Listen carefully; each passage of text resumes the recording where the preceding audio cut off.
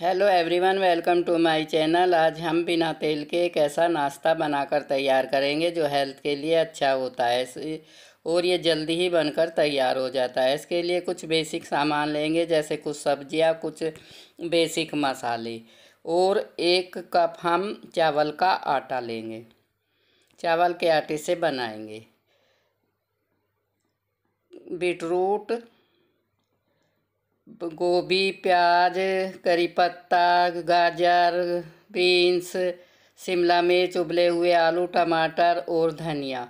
धनिया पाउडर, हल्दी, गरम मसाला, काली मिर्च, लाल मिर्च और नमक।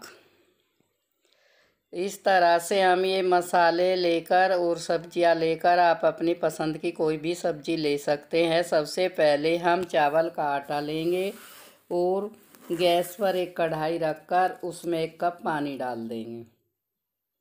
एक कप पानी डालकर उसमें हम चिली फ्लेक्स, हरा धनिया और थोड़ा सा नमक और घी डाल देंगे। उबाल आने पर हम धीरे धीरे करके इसमें चावल का आटा डालते जाएँगे। उसे एक डो की तरह तैयार कर लेंगे। इस तरह से मिलाते हुए हम चावल के आटे को इसमें अच्छी तरह से मिला लेंगे, जिसमें गांठें ना पड़े। इस तरह से हमने आटे को इस तरह से बना लिया है। और अब हम इसको अच्छी तरह से इसमें मिक्स कर लेंगे, फिर हम गैस को बंद कर देंगे और कढ़ाई को नीचे उतार लेंगे। इस तरह से ये आटा कढ़ाई छोड़ने लगेगा, एकदम एक डो बनकर तैयार हो जाएगा। अब हम गैस को बंद करेंगे और इसको ठंडा होने के लिए नीचे उतार लेंगे। एक प्लेट लेंगे, कढ़ाई में से डो को इसमें डाल लेंगे, जिससे ये ठंडा हो जाए। इस तरह से निकाल कर इस पर थोड़ा सा ऑयल या घी लगाकर इसको ढक कर रख देंगे थोड़ी देर के लिए। दूसरी तरफ़ हम इस पर थोड़ा सा ऊपर से ऑयल लगा देंगे और इसको एक जगह इकट्ठा करके ढक कर रख देंगे।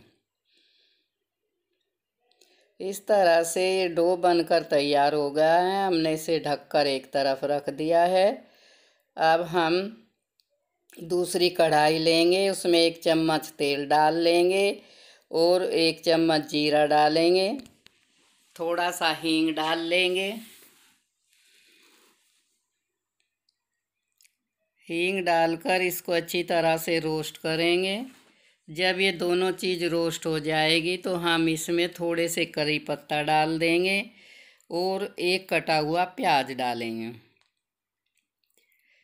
इनको अच्छी तरह से मिक्स करेंगे, प्याज को ज़्यादा नहीं भूनेंगे। इसके बाद हम इसमें एक टमाटर डाल देंगे, चॉप किया हुआ, और फिर कुछ कटी हुई बीन्स डाल देंगे। और इनको अच्छी तरह से मिक्स कर लेंगे। बीन्स के बाद हम इसमें शिमला मिर्च डालेंगे। एक साथ भी सभी सब्ज़ी आप डाल सकते हैं, लेकिन हम थोड़ा थोड़ा डालकर इनको रोस्ट करते रहेंगे। इसके बाद हम इसमें फूल गोभी डाल देंगे। जो हमने कद्दूकस करके रखी थी और कद्दूकस की हुई गाजर डालेंगे।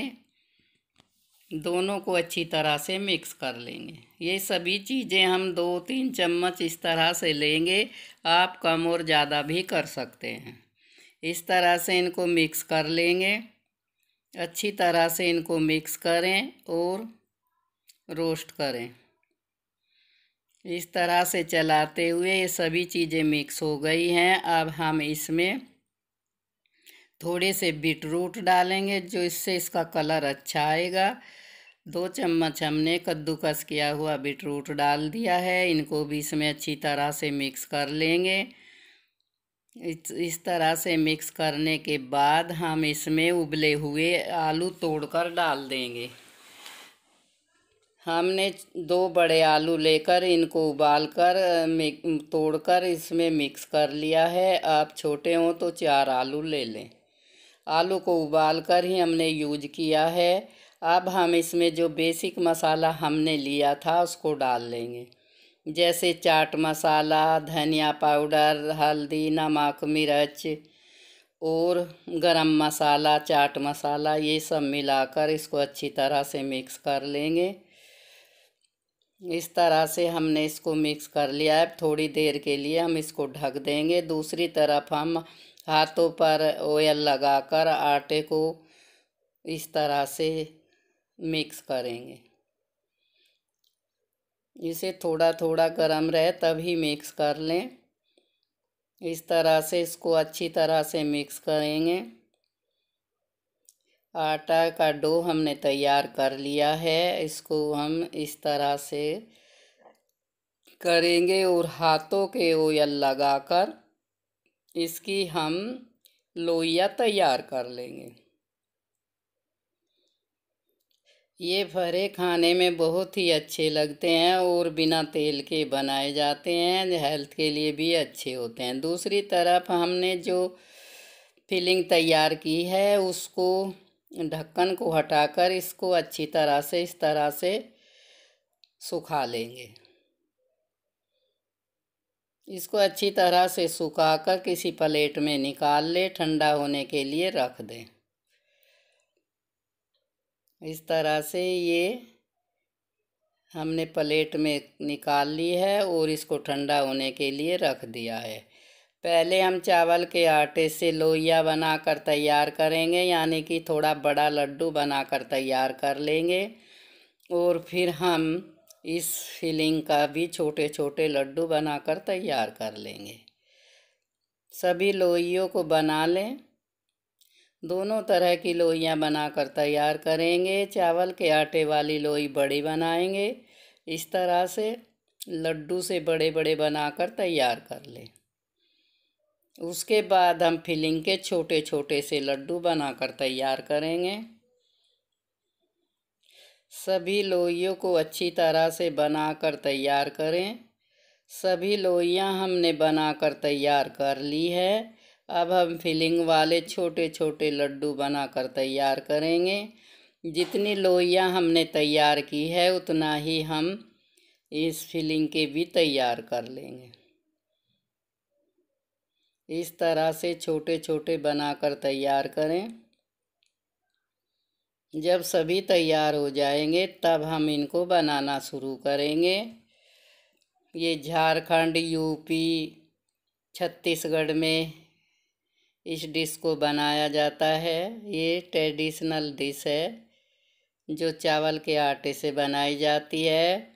वेज की जगह इसमें दाल भी भरते हैं, जिनको हम दाल वाले फरे बोलते हैं, ये वेज फरे हैं। इस तरह से हम इनको बनाकर तैयार कर लेंगे। सभी दोनों तरह के लड्डू हमने बनाकर तैयार कर लिए हैं। इस तरह से अब हम एक छलनी लेंगे, उस पर हम ऑयल लगा लेंगे। और दूसरी तरफ़ हमने गैस पर पानी भरकर, पानी डालकर एक कढ़ाई रख दी है, जिसमें हमने एक डेढ़ गिलास पानी डाला है। इसके अच्छी तरह से ऑयल लगा ले और इसको एक तरफ़ रख दे। एक चावल वाली लोई लेकर उसको हाथ से या फिर बेलन से चकले पर उसको फैला ले। एक पूड़ी की तरह हम इसको फैला लेंगे। इस तरह से हाथों में ऑयल लगाए और इसको इस तरह से भी हम फैला सकते हैं। लेकिन चकले पर अच्छी तरह से ये बेल कर तैयार कर लें। और आप अगर इसको बिल्कुल गोल बनाना चाहते हैं तो किसी कटोरी या किसी चीज़ से इसको गोल काट ले। इस तरह से हमने एक चकला बेलन ले लिया है, उस पर ऑयल लगा लिया। अब इसको हम इस तरह से फैलाएँगे। अच्छी तरह से इसको पूड़ी की तरह फैला लें। और फैलाकर इस मिश्रण को आधे हिस्से में डाल दें, यानी कि उसको भी इसके आधे हिस्से में फैला लें। आप इसको बिल्कुल गोल बनाने के लिए काट भी सकते हैं। इस तरह से इसको लंबा सा करके ऐसे एक तरफ़ रख दे और दूसरी तरफ़ का इस पर फोल्ड कर दे इस तरह से। आटा थोड़ा हमारा पतला हो गया है, आप टाइट आटा इसका गूथे। इस तरह से इसको बंद नहीं करना है। इसी तरह से हम जो छलनी में तेल लगाया है उसमें रख देंगे। एक बराबर इसको कर ले। इस तरह से। एक बनकर तैयार हो गया है। अब हम आपको दूसरा भी बनाकर दिखाएँगे। इस तरह से इसको छलनी में रख लें। सभी फरे बनाकर छलनी में इस तरह से रख लें। इसको इस तरह से रखें और फिर दूसरा बनाना तैयार करें। हमने इसको छलनी में रख लिया है। अब हम दूसरा भी इसी तरह से बनाकर तैयार करेंगे। सभी फरे इसी तरह से बनाकर तैयार करें और छलनी में रख लें।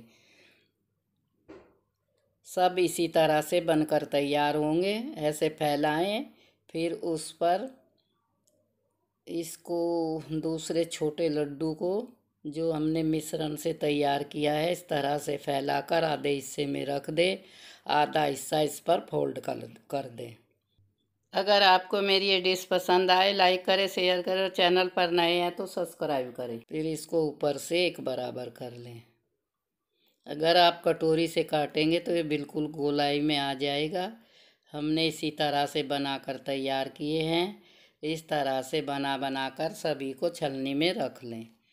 जब छलनी फुल हो जाए, इस तरह से इसमें पाँच आए हैं, अब ये फुल हो गई है। अब हमने जो पानी रखा था, वो गर्म हो चुका है, उस पर हम इसे रख देंगे और ऊपर से इसमें हम ढक्कन लगा देंगे। पंद्रह मिनट बाद हम इसको देखेंगे, भाप से सिक कर तैयार हो जाएँगे। कुछ हमने इनको पहले ही आटे को गर्म पानी से बनाया है। इस तरह से बनकर तैयार हो गए हैं। अब हम छलनी, उसको, ढक्कन को हटाकर छलनी को पानी पर से हटा लेंगे और इनको किसी बर्तन में निकाल कर रख लेंगे। इस तरह से हम छलनी को हटा लेंगे। पानी में खूब अच्छा उबाल आया हुआ है। अब हम दोबारा इसी छलनी में दूसरे भर कर रख देंगे और उनको भी ढक लेंगे। इसी तरह से सब फरे बनकर तैयार हो गए हैं। हम एक काट कर आपको दिखा रहे हैं। खूब अच्छी फीलिंग भरी है। इसको आप हरी चटनी या मीठी चटनी के साथ सर्व कर सकते हैं और इनको हम दोबारा फ्राई भी कर सकते हैं। फरे बनकर तैयार।